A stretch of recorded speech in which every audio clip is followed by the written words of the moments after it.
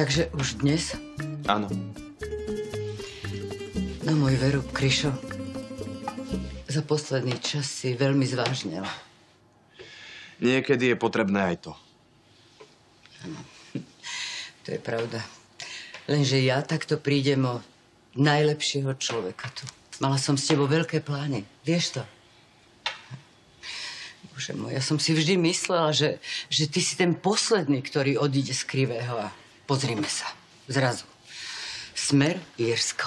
Veci sa zmenili. Až tak veľmi? Zorka, pozri, veď... Aj ty by si urobila všetko pre svoju rodinu, nie?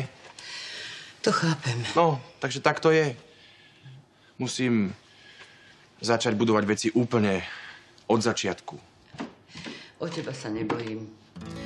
Ty nech sa pustíš do čohokoľvek. O chvíľku v tom budeš najlepší. Tvoj budúci šéf má šťastie. No, všetko mi až tak nejde. Ale ďakujem pekne. No nič, budem musieť ísť. Počkaj.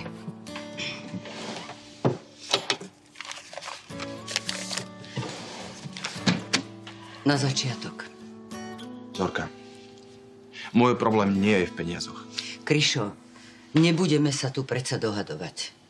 Ber to ako odstupné. Hm. Zamestnanec, ktorý dá výpoveď, nemá nárok na odstupné. Ale uzorky... Uzorky sa podniká inak. Prosím ťa, neodmietaj dar. Je to zo srdca. Ďakujem. Zaslúžiš si stokrát viac. Ďakujem ešte raz. Za všetko.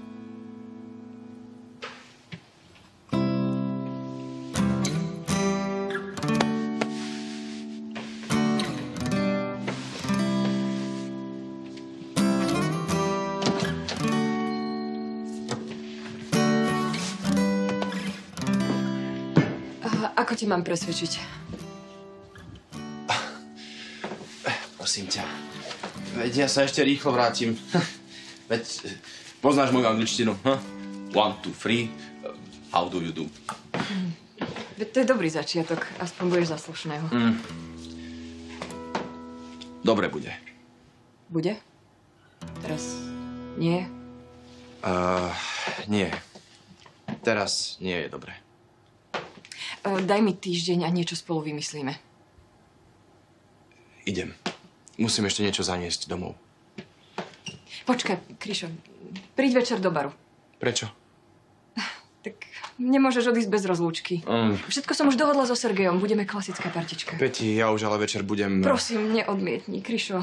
Je to len malá zábava pred odchodom. Nič viac.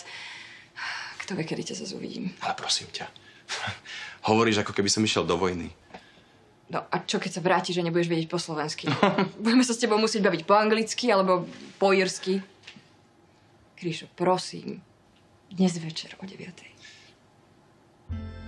OK. Uvidíme sa tam. Dobre. Len prosím ťa, nejaké prekvapenia. Vieš, že to nemám rád. Sľubujem.